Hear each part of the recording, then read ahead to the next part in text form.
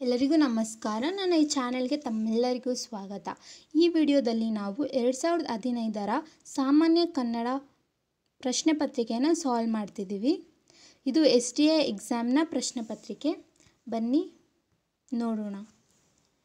ಇಲ್ಲಿ ಖಾಲಿ ಜಾಗದಲ್ಲಿರಬೇಕಾದ ಸೂಕ್ತ ಪದವನ್ನು ಸಂಖ್ಯೆಯ ಮೂಲಕ ಗುರುತಿಸಿರಿ ಅಂತ ಕೊಟ್ಟಿದ್ದಾರೆ.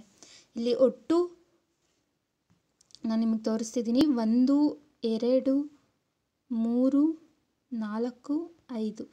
ಐದು ಜಾ, ಖಾಲಿ ಬಿಟ್ಟಿರೋ ಜಾಗಗಳಿದೆ. ಇದರಲ್ಲಿ ನಾವು ಸೂಕ್ತವಾದಂತಹ ಸಂಖ್ಯೆ ಮೂ ಸಂಖ್ಯೆಯ ಮೂಲಕ ನಾವು ಆನ್ಸರ್ನ ಗುರುತಿಸಬೇಕು. ಸೊ ಹರಪ್ಪ ಮೆಹಂಜೋದಾರಗಳಲ್ಲಿ ಡ್ಯಾಶ್ ಸಂಶೋಧನೆಗಳು ನಡೆಯುವುದಕ್ಕೆ ಮುಂಚೆ ಅಂತ ಕೊಟ್ಟಿದ್ದಾನೆ. ನ, ಇದಕ್ಕೆ ಆನ್ಸರ್ ಬಂದು, ಶಿಸ್ತಿನ, ಪುರೋಗಾಮಿನ, ಉತ್ಖನನ, ಪ್ರಾಕ್ತನ ಅಂತಿದೆ. ಇದರಲ್ಲಿ ಸೂಕ್ತವಾಗಿ ಹೊಂದಿಕೆ ಆಗೋದು ಮೊದಲನೇದು ಪ್ರಾಕ್ತನ ಸಂಶೋಧನೆಗಳು ನಡೆಯುವುದಕ್ಕೆ ಮುಂಚೆ ಅಂತ. ಇದರಲ್ಲಿ ಒಂದನೇ ಖಾಲಿ ಬಿಟ್ಟಿರೋ ಜಾಗಕ್ಕೆ ಪ್ರಾಕ್ತನ ಹಾಕ್ತೀವಿ. ನೆಕ್ಸ್ಟು ಡ್ಯಾಶ್ ತೀರದ ಪ್ರಾಚೀನ ನಾಗರಿಕತೆ ಅಂತ ಕೇಳಿದ್ದಾರೆ. ಇದಕ್ಕೆ ನಮಗೆಲ್ಲ ಗೊತ್ತಿರೋ ಹಾಗೆ ಸಿಂಧು. ಸಿಂಧು ತೀರದಲ್ಲಿ ಹರಪ್ಪ ಮೆಹಂಜೋದವರುಗಳು ಈ ನಾಗರಿಕತೆಗಳು ಕಂಡು ಬಂದವು ಅಂತ ನಾವು ಈಗಾಗಲೇ ತಿಳ್ಕೊಂಡಿದ್ದೀವಿ. ಇನ್ನು ಮೂರನೇ ಜಾಗದಲ್ಲಿ ಭರತಖಂಡದ ಸಾಂಸ್ಕೃತಿಕ ಇತಿಹಾಸವನ್ನು ಡ್ಯಾಶ್ ವರ್ಷಗಳಷ್ಟು ಹಿಂದಕ್ಕೆ ಕೊಂಡೊಯ್ದವಂತಿದೆ. ಇದಕ್ಕೆ ಉತ್ತರ ಬಂದು ತುಂಬ ಸಾವಿರಾರು ವರ್ಷಗಳ ಹಿಂದೆ ಅಂತ. ಸೊ ಅದಕ್ಕೆ ಸಾವಿರಾರು ಬರೋದು. ಆನ್ಸರ್ ಇನ್ನು ಅನೇಕ ವಿದ್ವಾಂಸರ ಅಭಿಪ್ರಾಯದಂತೆ ಡ್ಯಾಶ್ರವರೆಗೆ ಈ ಸಂಸ್ಕೃತಿ ಅಂತ ಕೇಳಿದ್ದಾರೆ. ಇದಕ್ಕೆ ಆನ್ಸರು, ನಾವು ಕ್ರಿಸ್ತ ಶಕದಲ್ಲಿ ಯಾವಾಗ ಆಯಿತು ಅಥವಾ ಕ್ರಿಸ್ತ ಪೂರ್ವದಲ್ಲಿ ಆಯಿತಾ ಅದನ್ನು ನೋಡಬೇಕು. ಇದು ಬಂದು ಕ್ರಿಸ್ತ ಪೂರ್ವ ಎರಡು ಸಾವಿರದ ಐನೂರರಿಂದ ಸಾವಿರದ ಐನೂರವರೆಗೆ ಇದಕ್ಕೆ ಕರೆಕ್ಟ್ ಆನ್ಸರ್ ನಾನು ಇಲ್ಲಿ ಟಿಕ್ ಮಾಡ್ತಿದ್ದೀನಿ. ಇದು ಬಂದು ಫೋರ್ತ್ ಫಿಲ್ ಮಾಡಬೇಕಾಗಿರುವಂಥ ಆನ್ಸರು. ಈ ದೃಷ್ಟಿಯಿಂದ ಡ್ಯಾಶ್ ಮೊದಲಾದ ಪ್ರಾಚೀನ ನಾಗರಿಕತೆಗಳಿಗಿಂತ ಹೆಚ್ಚು ನಾಗರಿಕರಾಗಿದ್ದರೆನ್ನಬಹುದು ಅಂತ ಕೇಳಿದ್ದಾರೆ. ಇದಕ್ಕೆ ಆಪ್ಷನ್ಸ್ ಕೊಟ್ಟಿದ್ದಾರೆ. ಈಜಿಪ್ಟ್, ಬ್ಯಾಬಿಲೋನಿಯಾ, ಮೆಸಪಟೋಮಿಯಾ, ಮ್ಯಾಸಿಡೋನಿಯಾ ಅಂತ ಕೇಳಿದ್ದಾರೆ. ಇದಕ್ಕೆ ಆನ್ಸರ್ ಬಂದು ಈಜಿಪ್ಟ್. ಸೊ ಈ ದೃಷ್ಟಿಯಿಂದ ಈಜಿಪ್ಟ್ ಮೊದಲಾದ ಪ್ರಾಚೀನ ನಾಗರಿಕತೆಗಿಂತ ಹೆಚ್ಚು ನಾಗರಿಕರಾಗಿದ್ದೆನ್ನಬಹುದು ಅಂತ ಆನ್ಸರ್ ಇದು ಮೊದಲನೆಯದು ಬನ್ನಿ ಎರಡನೇ ಕ್ವಶನ್ ನೋಡೋಣ. ಕೆಳಗೆ ವಾಕ್ಯಗಳಲ್ಲಿ, ಕೆಳಗಿನ ವಾಕ್ಯಗಳಲ್ಲಿ ಖಾಲಿ ಬಿಟ್ಟಿರುವ ಜಾಗವನ್ನು ತುಂಬಲು ನಾಲ್ಕು ರೂಪ ನೀಡಿದೆ. ಅವುಗಳಲ್ಲಿ ಸೂಕ್ತವಾದವನ್ನು ಗುರುತಿಸಿ ಅಂತ ಕೇಳಿದ್ದಾನೆ ಮೊದಲನೇದು ಆ, ಮಿತ್ರ ಗೋವಿಂದ ಸಾಹಿತ್ಯದ ಯಾವ ಪ್ರಕಾರ ಅಂತ ಕೇಳಿದ್ದಾರೆ. ಮಿತ್ರ ಗೋವಿಂದ ಸಾಹಿತ್ಯದ ಯಾವ ಪ್ರಕಾರ ಅಂತ ಕೇಳಿದ್ದಾನೆ ಇದಕ್ಕೆ ಆನ್ಸರ್ ಬಂದು ನಾಟಕ. ಇನ್ನು ಏಳನೇ ಕ್ವೆಶನ್ ಇತ್ತೀಚೆಗೆ ನಿಧನರಾದ ರಾಷ್ಟ್ರಕವಿ ಯಾರು ಅಂತ ಕೇಳಿದ್ದಾರೆ ಎರಡು ಸಾವಿರದ ಹದಿನೈದರ ಪೇಪರ್ ಇದು. ಸೊ ಅದಕ್ಕೆ ಕರೆಕ್ಟಾದ ಆನ್ಸರ್ ಶಿವರುದ್ರಪ್ಪ ಅವರು. ಇನ್ನು ಎಂಟನೇ ಕ್ವೆಶನ್ ರತ್ನಾಕರವರ್ಣಿ ಬರೆದ ಕಾವ್ಯದ ಹೆಸರು ಯಾವುದು ಅಂತ ಕೇಳಿದ್ದಾನೆ ಇದಕ್ಕೆ ಸರಿಯಾದ ಉತ್ತರ ಭರತೇಶ ವೈಭವ. ನಮಗೆಲ್ಲ ಗೊತ್ತಿರೋ ಹಾಗೆ ರತ್ನಾಕರವರ್ಣಿ ಬರೆದಿರುವಂತಹ ಕಾವ್ಯದ ಹೆಸರು ಭರತೇಶ ವೈಭವ. ಇನ್ನು ಒಂಬತ್ತನೇ ಕ್ವೆಶನ್ ಬಂದು, ಹರಿಶ್ಚಂದ್ರ ಕಾವ್ಯದ ಕತ್ರು ಯಾರು? ಹರಿಶ್ಚಂದ್ರ ಕಾವ್ಯದ ಕರ್ತೃ ಬಂದು ರಾಘವಾಂಕ. ಇನ್ನು ಹತ್ತನೇ ಕ್ವೆಶನ್ ದಾನ ಚಿಂತಾಮಣಿ ಎಂದು ಯಾರನ್ನು ಕರೆಯುತ್ತೇವೆ? ಇದಕ್ಕೆ ಉತ್ತರ ಬಂದು ಅತ್ತಿಮಬ್ಬೆ ನೆಕ್ಸ್ಟ್ ಹೋಗೋಣ. ಕೆಳಗೆ ಕೊಟ್ಟಿರುವ ನಾಲ್ಕು ಪದಗಳಲ್ಲಿ ಸಮಾನವಾದ ಅಂ ಅಂಶವಿರುವಂತಹ ಮೂರು ಪದಗಳಿವೆ. ಭಿನ್ನವಾಗಿ ಉಳಿದಿರುವ ಪದವನ್ನು ಗುರುತಿಸಿ ಅಂತ ಕೇಳಿದ್ದಾರೆ. ಅದಕ್ಕೊಂದು ಉದಾಹರಣೆನೂ ಕೂಡ ಕೊಟ್ಟಿದ್ದಾರೆ. ಚುನಾವಣೆ, ಆಸ್ಪತ್ರೆ, ಮುಖ್ಯಮಂತ್ರಿ, ಭಾಷಣ ಅಂತ ಕೊಟ್ಟಿದ್ದಾರೆ. ನೋಡಿ, ಚುನಾವಣೆ, ಮುಖ್ಯಮಂತ್ರಿ, ಅವರೆಲ್ಲ ಸೇ, ಭಾಷಣ ಮಾಡೋದು ಇದೆಲ್ಲನೂ ಒಂದೇ ಕ್ಯಾಟಗರಿಲಿ ಬರೋದ್ರಿಂದ ಇಲ್ಲಿ ಆಸ್ಪತ್ರೆ ಅನ್ನೋದು ಡಿಫ್ರೆಂಟ್ ಆಗುತ್ತೆ. ಇನ್ನು ಉಳಿದಿರುವಂತಹ ಚುನಾವಣೆ, ಮುಖ್ಯಮಂತ್ರಿ, ಭಾಷಣ ಇವೆಲ್ಲ ಒಂದಾಗುತ್ತೆ. ಸೊ ನಾವು ಗುರುತಿಸಬೇಕಾಗಿರೋದು ಆಸ್ಪತ್ರೆ, ಅದು ಡಿಫ್ರೆಂಟ್ ಅನ್ನೋದನ್ನು. ಸೊ ಅದೇ ಥರ ಕ್ವೆಶನ್ಸ್ ಕೇಳಿದ್ದಾರೆ ಅದನ್ನು ಸಾಲ್ವ್ ಮಾಡೋಣ. ತಲೆದಂಡ, ಮೈಸೂರು ಮಲ್ಲಿಗೆ, ನಾಲ್ಕು ತಂತಿ, ಸಾವಿರಾರು ನದಿಗಳು ಅಂತ ಕೇಳಿದ್ದಾರೆ ಇದರಲ್ಲಿ ಹೊಂದಿಕೆ ಆಗದೇ ಇರುವಂತಹ ಒಂದು ಪದ ಯಾವುದು ಅಂದರೆ? ತಲೆದಂಡ. ಇನ್ನು ಹನ್ನೆರಡನೇದು ಆಡುತ್ತಾನೆ, ನೋಡುತ್ತಾನೆ, ಓಡುತ್ತಾನೆ, ಮಲಗುತ್ತಾನೆ ಅಂತ ಕೇಳಿದ್ದಾರೆ. ಇದಕ್ಕೆ ಹೊಂದಾಣಿಕೆ ಆಗದೇ ಇರುವಂತಹ ಭಿನ್ನವಾಗಿ ಉಳಿಯುವಂಥ ಪದ ಯಾವುದು ಅಂತಂದರೆ ಮಲಗುತ್ತಾನೆ. ಇನ್ನು ಹದಿಮೂರನೇ ಪ್ರಶ್ನೆ, ರಾಮಕೃಷ್ಣ ಪರಮಹಂಸ, ವಿನೋಬಾ ಭಾವೆ, ಸಾಯಿಬಾಬಾ, ರಾಜಾರಾಮಣ್ಣ ಅಂತ ಕೇಳಿದ್ದಾನೆ. ಇದರಲ್ಲಿ ಹೊಂದಿಕೆ ಆಗದೆ ಇರೋವಂಥ ಪದ ಒಂದು ರಾಜಾರಾಮಣ್ಣ. ಮುಂದೆ ಹೋಗೋಣ. ಹದಿನಾಲ್ಕನೇ ಪ್ರಶ್ನೆ ಬಂದು, ನಿನ್ನೆ, ಇಂದು, ನಾಳೆ, ಕತ್ತಲೆ, ಇವೆಲ್ಲ ನಾವು ಯೂಸ್ ಮಾಡ್ತೀವಿ. ನಿನ್ನೆ, ಇವತ್ತು, ನಾಳೆ ಅನ್ನೋದನ್ನು ದಿನಗಳ ಥರ. ಆದರೆ ಕತ್ತಲೆ ಇದಕ್ಕೆ ಹೊಂದಾಣಿಕೆ ಆಗ್ತಿಲ್ಲ. ಸೊ ಕತ್ತಲೆ ಇದು ಭಿನ್ನವಾಗಿರುವಂಥ ಪದ. ಇನ್ನು ಹದಿನೈದನೇದು, ಭೈರಪ್ಪ ತ್ರಿವೇಣಿ ತಾರಾಸು ಶಿಶುನಾಳ ಶರೀಫ ಅಂತ ಕೇಳಿದ್ದಾರೆ. ಸೊ ಇದಕ್ಕೆ ಹೊಂದಾಣಿಕೆ ಆಗದೇ ಇರುವಂಥದ್ದು ಶಿಶುನಾಳ ಶರೀಫರು. ಇನ್ನು ಹದಿನಾರನೇ ಕ್ವೆಶನ್ ರಾಗಿ, ಭತ್ತ, ತೊಗರಿ, ಎಣ್ಣೆ ಅಂತ ಕೇಳಿದ್ದಾರೆ. ಇದಕ್ಕೆ ಹೊಂದಾಣಿಕೆ ಆಗದೇ ಇರುವಂಥದ್ದು ಎಣ್ಣೆ. ಯಾಕಂದರೆ ಇವೆಲ್ಲ ಆಹಾರ ಪದಾರ್ಥಗಳು. ಎಣ್ಣೆ ಬಂದು ತೈಲ. ಇವು ದವಸ ಧಾನ್ಯಗಳು. ಸೊ ಅದಕ್ಕೆ ಹೊಂದಾಣಿಕೆ ಆಗದೆ ಇರುವಂಥದ್ದು ಎಣ್ಣೆ. ಸೊ ನೆಕ್ಸ್ಟ್ ಹೋಗೋಣ. ಕೆಳಗೆ ಕೊಟ್ಟ ನಾಲ್ಕು ಪದಗಳಲ್ಲಿ ಒಂದು ಪದ ಮಾತ್ರ ಅನ್ಯ ಭಾಷಾ ಪದ ಅದನ್ನು ಗುರುತಿಸಿ ಅಂತ ಕೇಳಿದ್ದಾರೆ. ಸೊ ಹದಿನೇಳನೇ ಪ್ರಶ್ನೆ ನೋಡೋಣ. ರೊಟ್ಟಿ, ದೋಸೆ, ಚಪಾತಿ, ದಾಲ್ ಫ್ರೈ ಅಂತ ಕೇಳಿದ್ದಾನೆ. ರೊಟ್ಟಿ, ಚ, ದೋಸೆ, ಚಪಾತಿ ಎಲ್ಲ ಕೇಳಿದ್ದೀವಿ. ಅನ್ಯ ಭಾಷೆ ಏನಂದರೆ ದಾಲ್ ಫ್ರೈ. ಇದು ಅನ್ಯ ಭಾಷೆ. ಇನ್ನು ಹದಿನೆಂಟನೇ ಪ್ರಶ್ನೆ. ಜಿಂಕೆ, ಮೊಲ, ನವಿಲು, ವ್ಯಾಘ್ರ ಅಂತ ಕೇಳಿದ್ದಾರೆ. ಇದು ಅನ್ಯ ಭಾಷಾ ಪದ ಒಂದು, ವ್ಯಾಘ್ರ. ಇನ್ನು ಹತ್ತೊಂಬತ್ತನೇ ಪ್ರಶ್ನೆ, ತಲೆ, ಕಾಲು, ಹಸ್ತ, ಕಿವಿ. ಇದರಲ್ಲಿ ಹಸ್ತ ಬಂದು ಅನ್ಯ ಭಾಷಾ ಪದ. ಕೆಳಗೆ ಕೊಟ್ಟಿರುವ ನಾಲ್ಕು ಪದಗಳಲ್ಲಿ ಒಂದು ಮಾತ್ರ ಅಚ್ಚ ಕನ್ನಡ ಪದ ಉಳಿದ ಮೂರು ಅನ್ಯ ಭಾಷಾ ಪದಗಳು. ಕನ್ನಡ ಪದವನ್ನು ಗುರುತಿಸಿ ಅಂತ ಕೇಳಿದ್ದಾರೆ. ಇದಕ್ಕಿಂತ ಮೊದಲೇ ನಾವು ನೋಡಿ, ಮೊದಲು ನೋಡಿದಿತ್ತು ನಾವು ಅನ್ಯ ಭಾಷಾ ಪದನ ಕೊಟ್ಟಿದ್ದಾರೆ. ಅದನ್ನು ಗುರುತಿಸ್ಬೇಕಿತ್ತು. ಇದರಲ್ಲಿ ಮೂರು ಅನ್ ಅನ್ಯ ಭಾಷಾ ಪದಗಳು ಕೊಟ್ಟಿರ್ತಾರೆ. ಒಂದು ಮಾತ್ರ ಕನ್ನಡ ಪದ ಇದೆ. ಅದು ಯಾವುದು ಕನ್ನಡ ಪದ ಅನ್ನೋದನ್ನು ಗುರುತಿಸ್ಬೇಕು. ಮೂಡಣ, ಪೊಲೀಸ್ ಖಾನಾವಳಿ ತಮನ್ನ ಅಂತ ಕೇಳಿದ್ದಾರೆ. ಇದರಲ್ಲಿ ಅಚ್ಚ ಕನ್ನಡ ಪದ ಮೂಡಣ. ಮೂಡಣ ಅಂತಂದರೆ ಪೂರ್ವ ದಿಕ್ಕು. ಮೂಡಣದಲ್ಲಿ ಸೂರ್ಯ ಉದಯಿಸಿದ ಅಂತ. ಅಂದರೆ ಪೂರ್ವ ದಿಕ್ಕಲ್ಲಿ ಸೂರ್ಯ ಹುಟ್ಟುತ್ತಾನೆ ಅಂತ ಅರ್ಥ. ಮುಂದೆ ಹೋಗೋಣ. ಇಪ್ಪತ್ತೊಂದನೇ ಪ್ರಶ್ನೆ. ಮಹರ್ಷಿ ಅರಸ ಕಾಲೇಜ್ ಅಮಲ್ದಾರ್ ಅಂತ ಕೇಳಿದ್ದಾನೆ ಇದಕ್ಕೆ ಸರಿಯಾದ ಉತ್ತರ ಬಂದು ಅರಸ. ಇದು ಶುದ್ಧ ಕನ್ನಡ ಪದ. ಇನ್ನು ಹೋಗೋಣ ನೆಕ್ಸ್ಟು ಈ ಕೆಳಗೆ ಕೆಲವು ಕನ್ನಡದ ನುಡಿಗಟ್ಟುಗಳನ್ನು, ಅವುಗಳಿಗೆ ಅರ್ಥಗಳನ್ನು ಕೊಟ್ಟಿದೆ. ನುಡಿಗಟ್ಟಿನ ಸರಿಯಾದ ಅರ್ಥ ಯಾವುದೆಂದು ಗುರುತಿಸಿ ಅಂತ ಕೇಳಿದ್ದಾರೆ ನೋಡೋಣ ಏನಿದೆ ಅಂತ. ಕರತಲಾಮಲಕ ಅಂತ ಕೇಳಿದ್ದಾನೆ ಅದಕ್ಕೆ ಸರಿಯಾದ ಅರ್ಥ ಏನು ಅಂದರೆ ಆಪ್ಷನ್ಸ್ ಕೊಟ್ಟಿದ್ದಾರೆ ಕೈ ಚಳಕ ತೋರು, ಚೆನ್ನಾಗಿ ತಿಳಿದುಕೊಂಡದ್ದು, ಕೈಯಿಂದ ಮುಖದ ತನಕ ಗೊತ್ತು ಎಂಬ ಅಹಂಕಾರ ಅಂತ ಕೇಳಿದ್ದಾರೆ. ಸೊ ಇದಕ್ಕೆ ಸರಿಯಾದ ಉತ್ತರ ಬಂದು ಕರತಲಾಮಲಕ ಅಂದರೆ ಕರಗತವಾಗಿಸಿಕೊಂಡವನು, ಅಂದರೆ ಚೆನ್ನಾಗಿ ತಿಳಿದುಕೊಂಡದ್ದು ಅಂತ ಉತ್ತರ. ಇನ್ನು ಇಪ್ಪತ್ತ್ಮೂರು ಅಚಾತುರ್ಯ ಅಂತ ಕೇಳಿದ್ದಾನೆ ಅದಕ್ಕೆ ಸರಿಯಾದ ಉತ್ತರ ಯಾವುದು ಅಂತ ನೋಡೋಣ. ಬೇಕಂತ ಮಾಡಿದ ಕಾರ್ಯ ಕೈತಪ್ಪಿ ನಡೆದ ಕಾರ್ಯ, ಆತುರದಿಂದ ಮಾಡಿದ ಕಾರ್ಯ, ಕೆಟ್ಟ ಹೆಸರು ತರುವ ಕಾರ್ಯ ಅಂತ ಕೇಳಿದ್ದಾನೆ. ಇದಕ್ಕೆ ನಾವು ನೋಡಿದ್ದೀವಿ ಅಚಾತುರ್ಯವಾಗಿ ಇದು ನಡೆದ್ಬಿಡ್ತು ಅಂತ ಕೆಲವೊಂದು ಸಲ ನಾವು ಹೇಳ್ತೀವಿ. ಹಂಗಂದರೆ ಕೈ ತಪ್ಪಿ ನಡೆದೋಗುತ್ತೆ, ನಡೆಯುವಂತಹ ಕಾರ್ಯನ ಅಚಾತುರ್ಯ ಅಂತ ನಾವು ಕರಿತೀವಿ. ಇನ್ನು ಇಪ್ಪತ್ನಾಲ್ಕನೇದು ಒಳಗುಟ್ಟು. ಅಂದರೆ ಏನು? ಕಿವಿಯಿಂದ ಕಿವಿಗೆ ಹೇಳುವುದು ಆಪ್ಷನ್ಸ್ ಹೇಳ್ತಿದ್ದೀನಿ ನಾನು. ಕಿವಿಯಿಂದ ಕಿವಿಗೆ ಹೇಳುವುದು, ಅಂತರಂಗವನ್ನು ಬಹಿರಂಗ ಮಾಡದೇ ಇರುವುದು, ಒಳಗೊಳಗೆ ಹೇಳುವುದು, ಗುಟ್ಟು ರಟ್ಟು ಮಾಡುವುದು ಅಂತ ಕೇಳಿದ್ದಾನೆ ಇದಕ್ಕೆ ಸರಿಯಾದ ಆನ್ಸರ್ ಬಂದು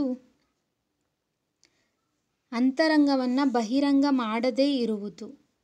ಅಂದರೆ ನಮ್ಮ ಒಳಗೆ ಇರುವಂತಹ ಇದ್ ಒಳಗಿರುವಂಥ ವಿಷಯವನ್ನು ನಾವು ಹೊರಗಡೆ ಹಾಕದೇ ಇರುವಂಥದ್ದು ಒಳಗುಟ್ಟು. ಅಂದರೆ ನಮ್ಮ ಒಳಗೇ ಗುಟ್ಟಿಟ್ಕೊಳ್ಳೋವಂಥದ್ದು ಅಂತ ಅರ್ಥ. ಸರಿಯಾದ ಆನ್ಸರ್ ಬಂದು ಅಂತರಂಗವನ್ನು ಬಹಿರಂಗ ಮಾಡದಿರೋದು ಬಿ ನೆಕ್ಸ್ಟು ಇಪ್ಪತ್ತೈದನೇ ಪ್ರಶ್, ಪ್ರಶ್ನೆ. ಚಾಡಿಕೋರ ಅಂದರೆ ಏನು ಅಂತ? ಇನ್ನೊಬ್ಬರ ಮೇಲೆ ಸದಾ ದೂರು ಹೇಳುವವ, ತನಗಾಗದವರ ಮೇಲೆ ಸೇಡು ತೀರಿಸಿಕೊಳ್ಳುವವ, ಇನ್ನು ಮೂರನೇದು ಇನ್ನೊಬ್ಬರ ವಿಶ್ವಾಸ ಗಳಿಸಲು ಏಳುವ ಚಾಡಿ, ಇನ್ನು ನಾಲ್ಕನೇದು ಹಿತ್ತಾಳೆ ಕಿವಿಯವರಿಗೆ ಇರುವ ಬಲು ಪ್ರಿಯ ಅಂತ ಕೇಳಿದ್ದಾನೆ ಇದಕ್ಕೆ ಸರಿಯಾದ ಆನ್ಸರ್ ಬಂದು, ತನಗಾಗದವರ ಮೇಲೆ ಸೇಡು ತೀರಿಸಿಕೊಳ್ಳುವವ ಅಂತ.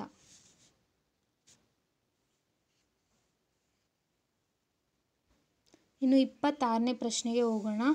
ಕೆಳಗೆ ಕೊಟ್ಟಿರುವ ಪದಗಳಿಗೆ ವಿರುದ್ಧಾರ್ಥಕವಾದ ಶಬ್ದಗಳನ್ನು ಗುರುತಿಸಿ ಅಂತ ಕೇಳಿದ್ದಾರೆ ಸೊ, ಅಂತರ್ವಾಣಿ ಅಂತಂದರೆ ನಮ್ಮ ಒಳಗೆ ಬರುವಂತಹ ಒಂದು ವಾಣಿ, ಅಂದರೆ ನಾವು ಯೋಚನೆ ಮಾಡುವಂಥದ್ದು. ಸೊ ಅದಕ್ಕೆ ವಿರುದ್ಧಾರ್ಥಕ ಪದ ಬಂದು ಬಹಿರ್ವಾಣಿ. ಇನ್ನು ಇಪ್ಪತ್ತಾರನೇ ಪ್ರಶ್ನೆ ಕೇಳಿದ್ದಾರೆ, ಹೊಗಳಿಕೆ ಅಂತ ಕೇಳಿದ್ದಾನೆ. ಹೊಗಳಿಕೆಗೆ ವಿರುದ್ಧಾರ್ಥಕ ಪದ ಹೊಗಳೋದಂತಾರೆ ಅದಕ್ಕೆ ವಿರ್, ವಿರುದ್ಧಾರ್ಥಕ ಪದ ತೆಗಳೋದು, ಅಂದರೆ ಬೈಯೋದು. ಸೊ ಅದಕ್ಕೆ ಸರಿಯಾದ ಉತ್ತರ ಏನಿದೆ ಇಲ್ಲಿ? ತೆಗಳಿಕೆ ಅಂತ ಇದೆ, ಒಂದು ಉತ್ತರ. ಇನ್ನು ಇಪ್ಪತ್ತೇಳು, ಜ್ಞಾನಿ ಅಂತ ತುಂಬ ತಿಳ್ಕೊಂಡಿರುವಂಥ ಬುದ್ಧಿವಂತರು, ತಿಳಿದಿರುವಂಥವ್ರನ್ನ ದ್ಯಾ, ಜ್ಞಾನಿ ಅಂತ ಕರೀತಾರೆ. ಇಪ್ಪತ್ತೇಳನೇದಕ್ಕೆ, ಜ್ಞಾನಿಗೆ ವಿರುದ್ಧಾರ್ಥಕ ಪದ ಏನು ಅಂತಂದರೆ ಅಜ್ಞಾನಿ. ಇನ್ನು ಇಪ್ಪತ್ತೆಂಟನೇ ಇಪ್ಪತ್ತೆಂಟನೇ ಪ್ರಶ್ನೆ, ಸಹಕಾರ, ಇದಕ್ಕೆ ವಿರುದ್ಧಾರ್ಥಕ ಪದ ಏನು ಅಂತಂದರೆ ಅಸಹಕಾರ. ಹೆಲ್ಪ್ ಮಾಡಿ, ಅಂದರೆ ಸ್ವಲ್ಪ ಹೆಲ್ಪ್ ಮಾಡದೇ ಇರುವಂಥವ್ರು. ಇನ್ನು ಇಪ್ಪತ್ತೊಂಬತ್ತನೇ ಪ್ರಶ್ನೆ, ಅಂತರಂಗ. ಅಂತರಂಗಕ್ಕೆ ನಮಗೆಲ್ಲ ಗೊತ್ತಿರೋ ಹಾಗೆ ಆನ್ಸರ್ ಬಂದು ಬಹಿರಂಗ. ಆರ್ಯ ಅಂತ ಕೊಟ್ಟಿದ್ದಾರೆ. ಅದಕ್ಕೆ ವಿರುದ್ಧಾರ್ಥಕ ಪದ ಏನು ಅಂತ ಕೇಳಿದ್ದಾರೆ. ಅನಾರ್ಯ. ಮುಂದೆ ಹೋಗೋಣ. ಈ ಕೆಳಗಿನ ಶಬ್ದಗಳಲ್ಲಿ ಸಮಾನಾರ್ಥಕವಾದ, ಅತಿ ಸಮೀಪದ ಅರ್ಥವುಳ್ಳ ರೂಪವನ್ನು ಗುರುತಿಸಿ ಅಂತ ಕೇಳಿದ್ದಾನೆ. ಸೊ, ಮೂವತ್ತೊಂದನೇದು ಸಲ್ಲಾಪ ಅಂತ ಕೊಟ್ಟಿದ್ದಾರೆ. ಇದಕ್ಕೆ ಸಮಾನವಾದಂತಹ, ಸಮೀಪ ಅರ್ಥವುಳ್ಳ ಕೊಡುವಂತಹ ಪದಗಳನ್ನ ನಾವು ಗುರುತಿಸಬೇಕು. ಸಲ್ಲಾಪ ಅಂದರೆ ಕಿತ್ತಾಡುವುದು, ಒಳ್ಳೆಯ ಮಾತುಕತೆ, ಪ್ರಲಾಪಿಸುವುದು, ಆಜ್ಞಾಪಿಸುವುದು ಅಂತ. ಇದಕ್ಕೆ ಸರಿಯಾದ ಉತ್ತರ ಬಂದು ಒಳ್ಳೆಯ ಮಾತುಕತೆ. ನಾವು ಇದನ್ನು ಕತೆಗಳಲ್ಲಿ ಕೇಳಿರ್ತೀವಿ. ರಾಜರು ಸಲ್ಲಾಪದಲ್ಲಿದ್ದರು ಆ ಥರ. ಅಂದರೆ ಏನಂದರೆ ಒಳ್ಳೆಯ ಮಾತುಕತೆ ನಡೆಸ್ತಿದ್ರು ಅಂತ ಅರ್ಥ. ಇನ್ನು ಮೂವತ್ತ ಎರಡನೇ ಪ್ರಶ್ನೆ ಬಂದಿದೆ. ಅಂಬುಜ ಅಂತ ಕೇಳಿದ್ದಾರೆ. ಅದಕ್ಕೆ ಸಮೀಪವಾಗಿರುವಂಥ ಅರ್ಥ ಏನು ಅಂತಂದರೆ, ಸಂಪ್ ಆಪ್ಷನ್ಸ್ ಕೊಟ್ಟಿದ್ದಾರೆ. ಸಂಪಿಗೆ, ಮಲ್ಲಿಗೆ, ಕಮಲ, ಕೇದಿಗೆ ಅಂತ. ಅಂಬುಜ ಅಂತಂದರೆ ಕಮಲ ಅಂತ ಅರ್ಥ. ಮೂರನೇದು ಕಮಲ. ಇನ್ನು ಮೂವತ್ತ್ಮೂರನೇದು ಛಲ ಅಂತ ಕೇಳಿದ್ದಾನೆ ಅಂದರೆ ಚಲಿಸುವ ಅಂತ ಅರ್ಥ. ಅಂದರೆ ಚಲನೆ, ಚಲನೆಯಲ್ಲಿರುವಂಥದ್ದು. ಇಲ್ಲಿ ನೋಡಿದ್ರೆ ಉಳಿದಿರೋದು ಸ್ಥಿರವಾದ ಅಂದಿದ್ದಾರೆ. ಚಲಿಸದಿರುವ, ನಿಂತಿರುವ ಎಲ್ಲ ಒಂದೇ ಥರ ಅರ್ಥ ಕೊಡುತ್ತೆ. ಆದರೆ ಚಲಿಸುವ ಅನ್ನೋದು ಇನ್ನೊಂದು ಅರ್ಥ ಕೊಡುತ್ತೆ. ಅಂದರೆ ಮೂವ್ ಆಗುತ್ತೆ ಅಂತ. ನೆಕ್ಸ್ಟ್ ಮೂವತ್ತ್ನಾಲ್ಕನೇ ಪ್ರಶ್ನೆಗೆ ಬರೋಣ. ವೈಚಾರಿಕತೆ ಅಂತ ಕೇಳಿದ್ದಾರೆ. ಅದಕ್ಕೆ ಆಪ್ಷನ್ಸ್ ಕೊಟ್ಟಿದ್ದಾನೆ, ವೈಜ್ಞಾನಿಕ ತಿಳುವಳಿಕೆ ಅಲ್ಲ, ಮೂಢನಂಬಿಕೆ ಇಲ್ಲದವ ಅದು ಅಲ್ಲ, ಶಾಸ್ತ್ರಗಳನ್ನು ಹೀಗೆಳೆಯುವವ ಅದು ಕೇಳಿದ್ದಾನೆ, ಅದು ಅಲ್ಲ ವಿಚಾರಶೀಲ ಉಳ್ಳವ ಅದು ಕರೆಕ್ಟ್ ಇದೆ. ಮೂವತ್ತ್ನಾಲ್ಕನೇದಕ್ಕೆ ನಾಲ್ಕನೇ ಆಪ್ಷನ್ ಬಂದು ವಿಚಾರಶೀಲ ಉಳ್ಳ ಅಂತ ಕೇಳಿದ್ದಾರೆ ವೈಚಾರಿಕತೆಗೆ. ಅದು ಸಮನಾದಂತಹ ಪದ. ಇನ್ನು ಹೋಗೋಣ, ಮೂವತ್ತೈದನೇ ಪ್ರಶ್ನೆಗೆ ವಿಮರ್ಶಕ ಅಂತ ಕೇಳಿದ್ದಾನೆ. ನೋಡೋಣ ಆಪ್ಷನ್ಸ್ ಏನು ಕೊಟ್ಟಿದ್ದಾರೆ. ನಿರ್ದಯಿ, ಅಂದರೆ ದಯೆ ಇಲ್ಲದೆ ಇರೋ ಅಂತ ಅಂತ ಅರ್ಥ. ಅದು ವಿಮರ್ಶಕನಿಗೆ ಆಗೋದಿಲ್ಲ. ಸಮಾನ ಮನಸ್ಸುಳ್ಳವ, ಅದು ಆಗೋದಿಲ್ಲ. ವಿಮರ್ಶೆ ಅಂತಂದರೆ ಎರಡು ಕಡೆನೂ ಪಾಸಿಟಿವ್ ನೆಗೆಟಿವ್ ಎರಡೂ ನೋಡಿ ವಿಮರ್ಶೆ ಮಾಡುವಂಥ ಅದನ್ನು ವಿಮರ್ಶೆ ಮಾಡುವಂಥದ್ದು ಹೊರೆಗಚ್ಚಿ ಮೌಲ್ಯ ನಿರ್ಣಯ ಮಾಡುವವ ಅಂತ ಹೇಳಿದ್ದಾನೆ ಅದು ಸರಿಯಾದ ಉತ್ತರ. ನಾನು ನಾಲ್ಕನೇ ಉತ್ತರ, ನಾಲ್ಕನೇ ಆಪ್ಷನ್ ನೋಡ್ತಿಲ್ಲ. ಸೊ ಇದು ಕರೆಕ್ಟ್ ಅಂದ್ಕೊಂಡಿದ್ದೀನಿ ಕರೆಕ್ಟ್ ಆನ್ಸರ್ ಇದು. ಮೂವತ್ತ ಆರನೇ ಪ್ರಶ್ನೆಗೆ ಹೋಗೋಣ. ಕೆಳಗೆ ಕೊಟ್ಟಿರೋ ವಾಕ್ಯಗಳನ್ನು ಮೂರು ಭಾಗಗಳಾಗಿ ವಿಭಜಿಸಿ ಪ್ರತಿ ಭಾಗದ ಕೆಳಗೆ ಗೆರೆ ಎಳೆಯಲಾಗಿದೆ.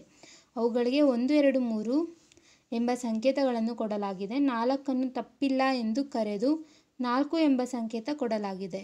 ಈಗ ತಪ್ಪಾದ ಭಾಗವನ್ನು ಗುರುತಿಸಿರಿ.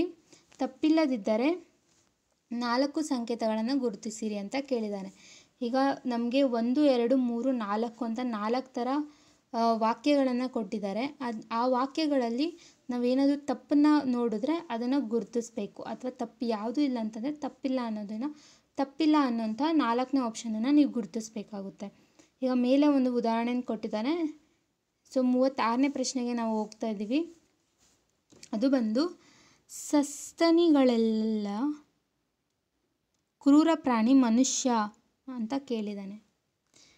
ಸಸ್ತನಿಗಳಲ್ಲೆಲ್ಲ ಕ್ರೂರ ಪ್ರಾಣಿ ಮನುಷ್ಯ. ಸೊ ಇದರಲ್ಲಿ ಯಾವುದೇ ತಪ್ಪು, ಗ್ರಾಮರ್ ಮಿಸ್ಟೇಕ್ ನನಗೆ ಕಾಣಿಸ್ತಿಲ್ಲ. ಸೊ ಇದಕ್ಕೆ ಸರಿಯಾದ ಉತ್ತರ ತಪ್ಪಿಲ್ಲ. ನೆಕ್ಸ್ಟ್ ಪ್ರಶ್ನೆಗೆ ಹೋಗೋಣ. ಇಂದಿನ ಜಗತ್ತು ಉಗ್ರವಾದಿಗಳ ಹಿಂಸೆಯಿಂದ ನಲುಗುತ್ತಿದೆ ಅಂತ ಕೊಟ್ಟಿದ್ದಾನೆ. ಅದರಲ್ಲಿ ಯಾವುದೇ ಕಾಗುಣದ ಮಿಸ್ಟೇಕ್ ಇಲ್ಲ, ಯಾವುದು ಮಿಸ್ಟೇಕ್ ಇಲ್ಲ. ಸೊ ಅದಕ್ಕೆ ಕರೆಕ್ಟ್ ಆನ್ಸರ್ ತಪ್ಪಿಲ್ಲ, ಯಾವುದು ತಪ್ಪಿಲ್ಲ ಅಂತ. ಇನ್ನು ಮೂವತ್ತ ಏಳನೇ ಪ್ರಶ್ನೆ. ನಾವು ನೋಡಿದ್ದಾಯಿತು ಮೂವತ್ತ ಎಂಟನೇ ಪ್ರಶ್ನೆ ಬಂದರೆ, ಜಾಗತೀಕರಣದ ಮೌಲ್ಯದಿಂದ ಮಾನವೀಯ ಮೌಲ್ಯಗಳು ಬೆಲೆ ಕಳೆದುಕೊಳ್ಳುತ್ತಿವೆ ಅಂತ ಕೇಳಿದ್ದಾನೆ ಸೊ ಇದರಲ್ಲಿ ಏನು ತಪ್ಪಿದೆ ಅಂತ ನೋಡಬೇಕು. ಜಾಗತೀಕರಣದಿಂದ ಕರಣದ ಮೌಲ್ಯದಿಂದ ಅಂತ ಕೇಳಿದ್ದಾನೆ ಸೊ ಇದು ತಪ್ಪಿದೆ. ನಾನು ಇದನ್ನು ಮಾರ್ಕ್ ಮಾಡ್ತಿದ್ದೀನಿ ಒನ್ ಇನ್ನು ಮೂವತ್ತೊಂಬತ್ತನೇ ಪ್ರಶ್ನೆ. ವಿಶ್ವಸಂಸ್ಥೆಯ ಕಾಯಂ ಸದಸ್ಯತ್ವಕ್ಕೆ ಭಾರತ ಕಾಯಂ ಸದಸ್ಯತ್ವಕ್ಕಾಗಿ ಹಕ್ಕೊತ್ತಾಯ ಮಾಡಿತು ಅಂತ ಕೇಳಿದ್ದಾರೆ ಮೂರು ಆಪ್ಷನಲ್ಲಿ ಅಷ್ಟು ವಾಕ್ಯ ಇದೆ. ತಪ್ಪಿಲ್ಲ ಅನ್ನೋದು ನಾಲ್ಕನೇ ಆಪ್ಷನ್ ಕೊಟ್ಟಿದ್ದಾನೆ. ಇದು ಬಂದು ಮೂವತ್ತೊಂಬತ್ತನೇ ಪ್ರಶ್ನೆ. ಇದರಲ್ಲಿ ಭಾರತ ಕಾಯಂ ಸದಸ್ಯತ್ವಕ್ಕಾಗಿ ಅಂತ ಕೇಳಿದ್ದಾರೆ. ಸೊ ನೋಡಿ, ವಿಶ್ವಸಂಸ್ಥೆಯ ಕಾಯಂ ಸದಸ್ಯತ್ವಕ್ಕೆ ಅಂತ ಕೊಟ್ಟಿದ್ದಾರೆ. ಸೊ ಅದನ್ನು ಎರಡನೇ ಲೈನಲ್ಲಿ ಭಾರತ ಕಾಯಂ ಸದಸ್ಯತ್ವಕ್ಕಾಗಿ ಅನ್ನೋ ಕಾಯಂ ಅದು ಕೊಡು ಕೊಡುವಂಥ ಅವಶ್ಯಕತೆ ಇರಲಿಲ್ಲ. ಸೊ ಇಲ್ಲಿ ಎರಡು, ಅದು ಬಂದು ಗುರುತಿಸ್ತಾ ಇದ್ದೀನಿ ನಾನು. ಪರಿಸ ನೆಕ್ಸ್ಟು ನಲವತ್ತನೇ ಪ್ರಶ್ನೆ, ಪರಿಸರ ಮನುಷ್ಯನನ್ನು ರೂಪಿಸುತ್ತದೆ ಅಂತ ಕೇಳಿದ್ದಾರೆ. ಇದರಲ್ಲಿ ಯಾವುದೇ ಪ್ರಕಾರ ತಪ್ಪಿಲ್ಲ. ಸೊ ನಾಲ್ಕನೇ ಆಪ್ಷನ್ ಗುರುತಿಸ್ತಿದ್ದೀನಿ. ಮುಂದೆ ಹೋಗೋಣ. ಸೂಚನೆ, ಗೆರೆಯಿಂದ ಸೂಚಿಸಿದ ಭಾಗದಲ್ಲಿ ದೋಷವಿದ್ದರೆ ಮುಂದೆ ಕೊಡಲಾದ ನಾಲ್ಕು ರೂಪಗಳಲ್ಲಿ ಸರಿಯಾದದ್ದನ್ನು ಗುರುತಿಸಿ ಅಂತ ಕೇಳಿದ್ದಾನೆ. ನಲವತ್ತೊಂದನೇ ಪ್ರಶ್ನೆ, ಅಜ್ಜಯ್ಯನು ಅಭ್ಯಂಜನವನ್ನು ಮಾಡಿದನು ಅಂತ ಕೇಳಿದ್ದಾನೆ ಕೊಟ್ಟಿದ್ದಾರೆ. ಇಲ್ಲಿ ಯಾವುದೇ ರೀತಿ ತಪ್ಪು ನನಗೆ ಕಾಣಿಸ್ತಿಲ್ಲ. ಸೊ, ದೋಷ ಇಲ್ಲ. ಎಲ್ಲ ಸರಿಯಾಗಿದೆ. ಸೊ ಆಪ್ಷನ್ ಫೋರ್ ಆಗ್ತಿದ್ದೀನಿ. ಇನ್ನು ನಲವತ್ತೆರಡನೇ ಪ್ರಶ್ನೆ. ಜಾಗತೀಕರಣ ಅಮೇರಿಕ ಪ್ರೇರಿತ ಆರ್ಥಿಕ ವ್ಯವಸ್ಥೆ ಅಂತ ಕೇಳಿದ್ದಾನೆ ಅದು ಸ್ಟೇಟ್ಮೆಂಟ್ ಕರೆಕ್ಟಾಗಿದೆ ಸೊ, ಸರಿಯಾಗಿದೆ.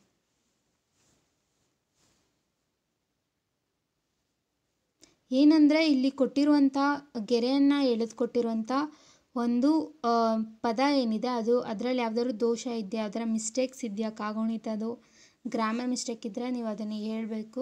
ಸೊ ನಾನು ಅದೇ ರೀತಿ ಮಾಡ್ತಿದ್ದೀನಿ ಈಗ ಜಾಗತೀಕರಣ ಅಮೇರಿಕ ಪ್ರೇರಿತ ಆರ್ಥಿಕ ವ್ಯವಸ್ಥೆ ಸ್ಟೇಟ್ಮೆಂಟ್ ಕರೆಕ್ಟಾಗಿದೆ ಅದರಲ್ಲಿ ಜಾಗತೀಕರಣ ಅನ್ನೋದು ಕರೆಕ್ಟಾಗಿ ಕೊಟ್ಟಿದ್ದಾರೆ. ಸೊ ಸರಿಯಾಗಿದೆ.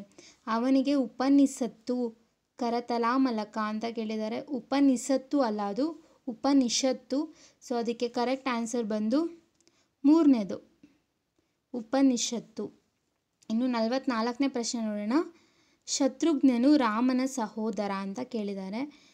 ಇದರಲ್ಲಿ ಗ್ರಾಮರ್ ಮಿಸ್ಟೇಕ್ ಇದೆ. ಶತ್ರುಘ್ನ ಅದು ಆಪ್ಷನ್ ಒಂದು ಬರಬೇಕು. ಶತ್ರುಘ್ನನ ಹೆಸರು ಅದರಲ್ಲಿ ಮಿಸ್ಟೇಕ್ ಆಗಿದೆ. ಸೊ ಅದು ಕರೆಕ್ಟ್ ಆನ್ಸರ್ ಒಂದು ಶತ್ರುಘ್ನ. ಇನ್ನು ನಲವತ್ತೈದನೇದು. ನಾನು ಘಟಿಕೋತ್ಸವದಲ್ಲಿ ಭಾಗವಹಿಸಿದ್ದೆ ಅಂತ ಕೇಳಿದ್ದಾರೆ. ಇದರಲ್ಲಿ ಗಾ ಬಂದು ಘ ಆಗಿರಬೇಕಿತ್ತು. ಸೊ, ನಲವತ್ತೈದನೇ ಪ್ರಶ್ನೆಗೆ ಸರಿಯಾದ ಉತ್ತರ ಬಂದು ಮೂರನೇದು ಘಟಿಕೋತ್ಸವ. ಮುಂದೆ ಹೋಗೋಣ. ಕೆಳಗೆ ಕೊಟ್ಟಿರುವ ಪದಗಳನ್ನು ಸುಧಾರಿಸಿ, ಸುಧಾರಣೆ ಇಲ್ಲದಿದ್ದರೆ ಸುಧಾರಣೆ ಇಲ್ಲ ಎಂದು ಗುರುತಿಸಿ. ಸೊ, ಇದು ತುಂಬ ಸಿಂಪಲ್. ನೋಡೋಣ. ಗೃಹಸ್ಥ ಅಂತ ಕೊಟ್ಟಿದ್ದಾರೆ. ಇಲ್ಲಿ ಗ್ರಾಮರ್ ಮಿಸ್ಟೇಕ್ ಇದೆ. ಸಾ ಹತ್ರ ತಾ ಒತ್ತು ಕೊಟ್ಟಿದ್ದಾರೆ. ಮೊದಲನೇ ತಾವದು. ಅದು ತಪ್ಪಿದೆ. ಸೊ ಇದು ಕರೆಕ್ಟ್ ಉತ್ತರ ಬಂದು ನಲವತ್ತಾರನೇದು. ಎರಡು ಗೃಹಸ್ಥ ಅದು. ಸೊ ನಲವತ್ತೇಳನೇದು ಬಂದು ಪಕ್ಷಾತೀತ ಅಂತ ಕೇಳಿದ್ದಾರೆ. ಅದಕ್ಕೆ ಕರೆಕ್ಟಾಗಿದೆ. ಸೊ, ಯಾವುದೇ ಇದು ಸುಧಾರಣೆ ಮಾಡಬೇಕಾಗಿಲ್ಲ. ಸೊ, ನಾಲ್ಕನೇ ಆಪ್ಷನ್ನು ಸುಧಾರಣೆ ಇಲ್ಲ. ನಲವತ್ತೆಂಟು, ವಿಶ್ವವಿದ್ಯಾಲಯ. ಕರೆಕ್ಟಾಗಿದೆ. ಸೊ, ಸುಧಾರಣೆ ಇಲ್ಲ. ಇನ್ನು ನಲವತ್ತೊಂಬತ್ತು, ಆಶೀರ್ವಾದ. ಕರೆಕ್ಟಾಗಿದೆ. ಸೊ, ಸುಧಾರಣೆ ಇಲ್ಲ. ಧನಂಜಯ ಅಂತ ಕೊಟ್ಟಿದ್ದಾರೆ. ಅದಕ್ಕೆ ಧ ಬರಬೇಕಿತ್ತು. ಇದರಲ್ಲಿ ಬರೀ ದ ಕೊಟ್ಟಿದ್ದಾರೆ. ಒತ್ತಿರಬೇಕಿತ್ತು. ಸೊ, ಧ ಇರಬೇಕಿತ್ತು. ಸೊ, ಇದರಲ್ಲಿ ಆಪ್ಷನ್ ಎರಡು ಕೊಟ್ಟಿದ್ದಾರೆ. ಧನಂಜಯ, ಇದು ಕರೆಕ್ಟಾದ ಉತ್ತರ. ಸೊ ಇನ್ನು ಉಳಿದಂಥ ಐವತ್ತು ಪ್ರಶ್ನೆಗಳನ್ನು ನಾನು ಮುಂದಿನ ವಿಡಿಯೋದಲ್ಲಿ ತಮಗೆ ಎಕ್ಸ್ಪ್ಲೇನ್ ಮಾಡ್ತೀನಿ. ಈ ವಿಡಿಯೋ ಇಲ್ಲಿ ತನಕ ನೋಡಿದ್ದಕ್ಕೆ ತಮ್ಮೆಲ್ಲರಿಗೂ ಧನ್ಯವಾದ. ಈ ವಿಡಿಯೋ ನಿಮ್ಗೆ ಇಷ್ಟ ಆಗಿದ್ದರೆ ಪ್ಲೀಸ್ ಲೈಕ್ ಮತ್ತು ಸಬ್ಸ್ಕ್ರೈಬ್ ಮಾಡಿ ಮತ್ತು ಬೆಲ್ ಐಕಾನ್ನ ಪ್ರೆಸ್ ಮಾಡಿ. ಮುಂದೆ ಯಾವುದೇ ವಿಡಿಯೋ ಅಪ್ಲೋಡ್ ಆದರೆ ತಮಗೆ ನೋಟಿಫಿಕೇಷನ್ ಬರೋದಕ್ಕೆ ನೀವು ಬೆಲ್ ಐಕಾನ್ನ ಪ್ರೆಸ್ ಮಾಡಿ. ಸೊ ನನ್ನ ಚಾನೆಲ್ಗೆ ಸಬ್ಸ್ಕ್ರೈಬ್ ಮಾಡಿ. ಸೊ ಮುಂದಿನ ವಿಡಿಯೋಗಳಿಗೆ ಇರಿ. ಧನ್ಯವಾದ.